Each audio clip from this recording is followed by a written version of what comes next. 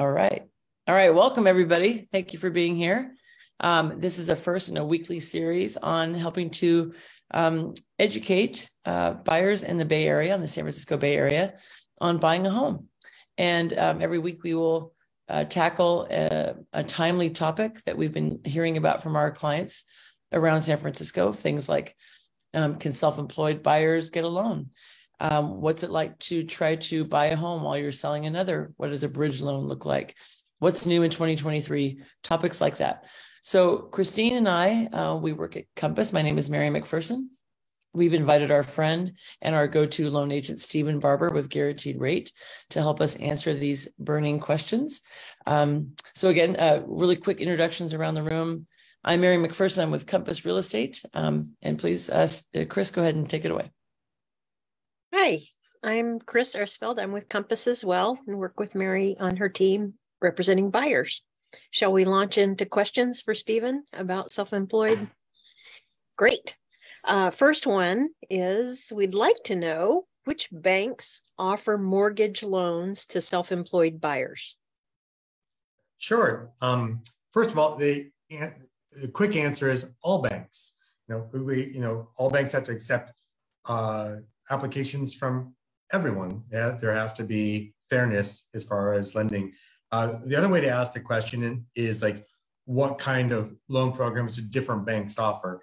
First, it's important to understand who is a self-employed borrower. And basically, if you own 25% or more of the business where you work, you're technically self-employed, even though you may not feel like it.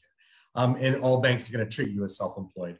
Um, basically, uh, banks will offer mortgages where they're using two years of your tax returns to qualify.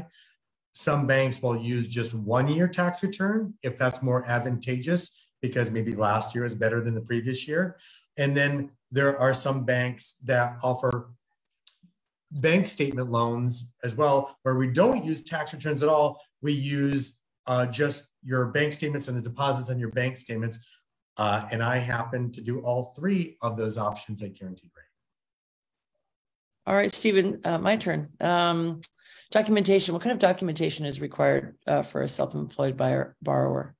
Sure. Like so, if you know, if you and your spouse are applying, and your spouse is just uh, a W two employee, uh, the spouse is just going to be asked for pay stubs and W twos. But because you're self-employed, you're going to be asked for more. You're going to be asked for two years tax returns, and you're going to be asked for probably a profit and loss, depending on what time of the year it is as well.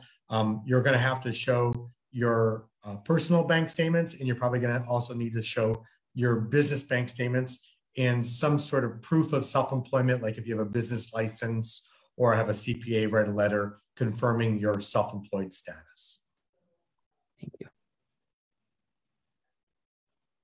Another uh, question that I would love to know the answer to how do the rates compare? Are they different for self employed buyers Typically, no. If if you are able to qualify on the standard documentation, which is like two years tax returns, you're going to see the same rates. And even if like one of you is self-employed and you're you and your spouse, and one is self-employed and one is not, we're just going to use your combined income, and you're going to get the same rates as if you are both uh, W-2 employees. The only time where you're going to see uh, premium in the interest rate is if we have to use alternative documentation, such as like the bank statement loan. They are inherently more risky as far as Wall Street's concerned, and risk equates to interest rate.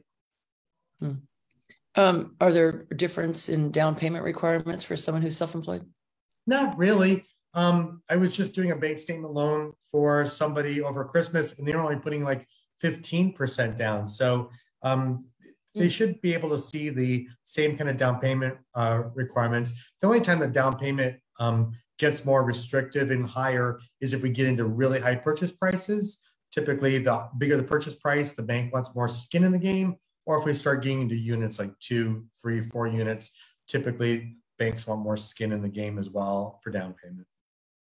So, Stephen, you know, just overall, and maybe even anecdotally, is it pretty easy for a self-employed buyer to get a, loan on a home in San Francisco or in the Bay Area? And and what kind of clients are you working with right now um, in that realm? Sure, I would say it is as easy as if you are, you know, a straight salary W two person, it's just a matter of it may take some more effort, it may take some more research. Um, for one, uh, so for instance, if you were to just go into, I'll give you a quick example. Um, so I had a client that just went into B of A, um, and they're an architect. They do like uh, a specific type of architecture that had some difficulties during uh, COVID, right? So they went to B of A. B, B of A is like, okay, give us two years tax returns. That's all we use. And B of A came up with the following. They came up with is that backwards? I don't know. Seven seven k net income, which basically qualified them for four hundred twenty five thousand. Well, that's not going to work. They want to buy someplace for like, uh, you know, a million plus for them. So then uh, I started working with them and said, okay, obviously the two years two years of tax returns are not working. What if we use one year tax return? Because last year was better than the previous year. In that case, we came up with twelve thousand dollars a month in income. So we got them up to almost seven hundred. So we're getting there. Um, but you know, they really wanted the place. They're paying a lot in rent right now. They wanted to buy the place that they are living in. The landlord's selling it. They wanted to buy for like a million plus. So we did the bank statement loan. The last 12 months of the bank statements for this architecture firm are great. We had $94,000 on average of monthly deposits.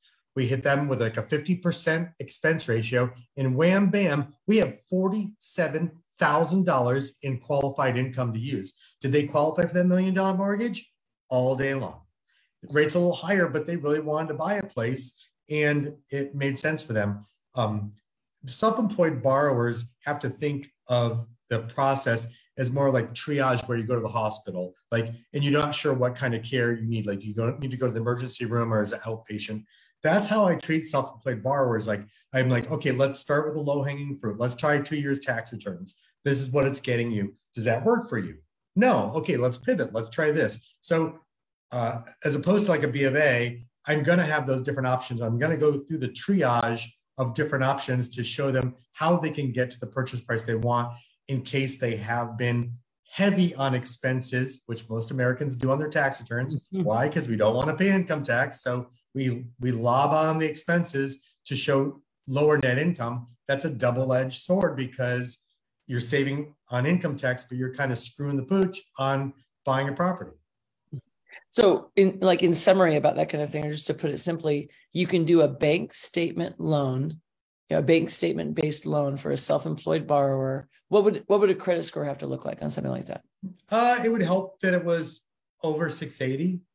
Hmm. But I mean, all is possible. Um, it doesn't have to have a, a certain credit score. It has to be at least over 620.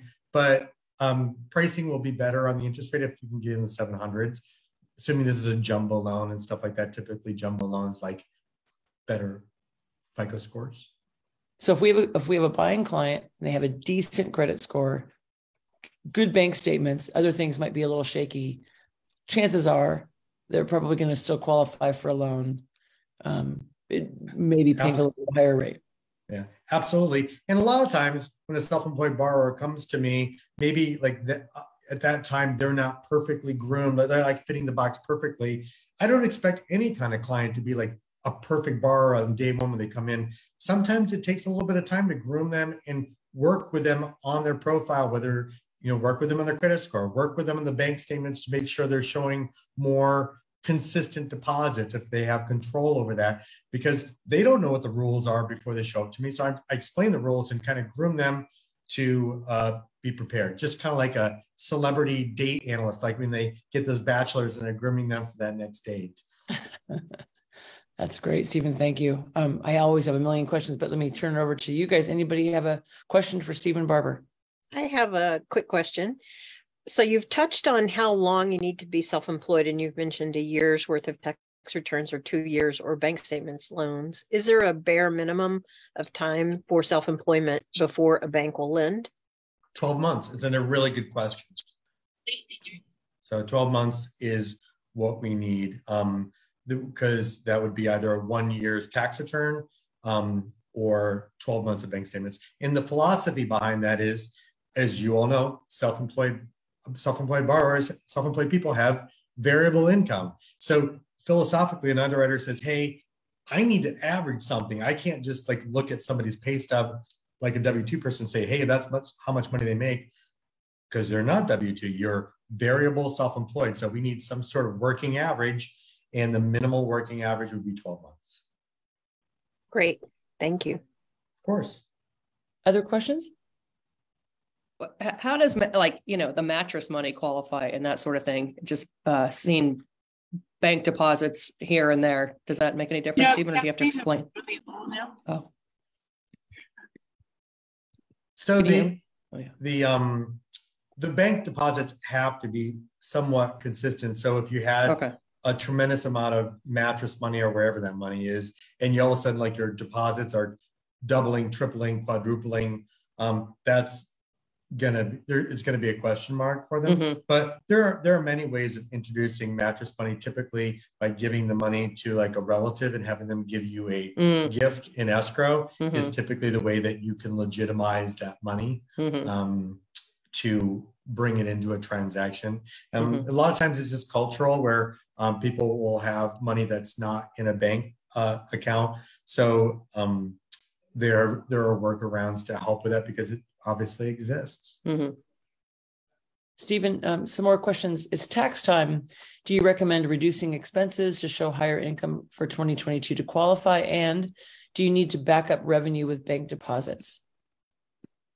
Yeah, for somebody that for somebody that thinks that they're on like the uh, on the brink of qualifying, maybe they were coming out of COVID and things were kind of a little tough, but they you know things have been progressing. What they what I always suggest is that as you're preparing the tax return, just send me the draft before you file, and I will tell them like off the net income after expenses what they'll qualify for. So they they can even know that like a pro kind of a pro forma before they commit to it. And I'll be like, and I do the same thing for people that have rental real estate. Sometimes people that have properties that are, are on their schedule E as rentals are pretty heavy handed on showing expenses and showing huge losses. And I will work with them as well in like maybe showing a bunch of depreciation, but not other kinds of expenses. So we can try to have those properties at least break even or show a little bit of a profit if they're dragging them down. So I kind of do that pro forma draft situation with people all the time. And if anyone is working with a bank, they should try to do that with a loan officer before they kind of commit on the dotted line on what they want to file for 2022. Oh, thank you. Another question Do appraisers on rental income properties need to do a market anal- analysis of market rent? And do they actually check on if the rental is rented? So, if it's a subject property, if it's a property we're lending on, the appraiser will go in and find out. Obviously, if it's occupied, it'll be clear it's occupied. If it's occupied, they'll use the actual tenant's actual rent. Um, if it is vacant, then they have to go and do a market analysis of um, market rents and come up with a figure there for them as well.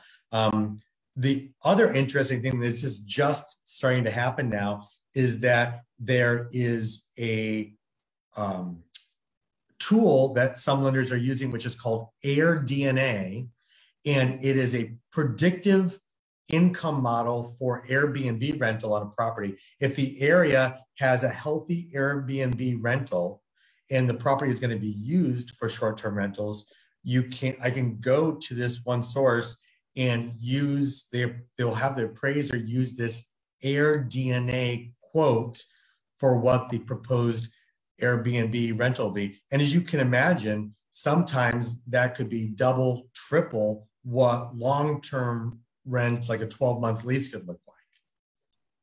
Wow. Okay. Uh, another question um, How does short term rental income factor in? And is AirDNA available to the rental owner? It, it is, and it's a bank. It's a bank um, uh, program that they'll run. Um, if uh, if people are if people are reporting their income on the tax return, regardless if the renter's in there for a week or for months at a time, Rent, rent is rent. It's the, the top line figure that's going to be used in the analysis of income minus expenses for them. If the property is um, vacant um, and the appraiser is projecting rent, the, the golden rule and what's used by 99% of banks is a long-term rent analysis, assuming what's what are rents going for for similar properties for a 12-month lease. This AirDNA thing is kind of brand new, just starting to test the waters, and I think it will become probably more prevalent um, as we try it more. But it's something I literally found out about like this week. Wonderful, thank you. Any last questions for Stephen before we let him go? No? Okay. Um, so this will be a weekly series. Um, next week, we'll be talking about loans for medical professionals. So if you know someone or you are a medical in the medical field, doctor, nurse, etc., um, Stephen's got a loan program for you. Um, we'll talk about what's new in 2023. We'll talk about loans for investors. We'll talk about bridge loans. Do you have a property that you'd like to buy, but you, are sitting on something that you need to sell? How do you how do you get around that? How, what's the workaround? Um, how does what does that look like? So Stephen's got lots of information. And um, ah, another question. Let's see. Also for medical professionals in the biotech science um, realm, Stephen, does that do they qualify for the medical? Pretty much everyone qualifies. They would have to they will have to have gone to some sort of medical school, but like vet vets, ophthalmologists, dentists, nurses. The the list is uh, the anesthesiologists. The list is very long um, uh, it would be difficult for somebody not to qualify for it, I would think. That's great. That's great.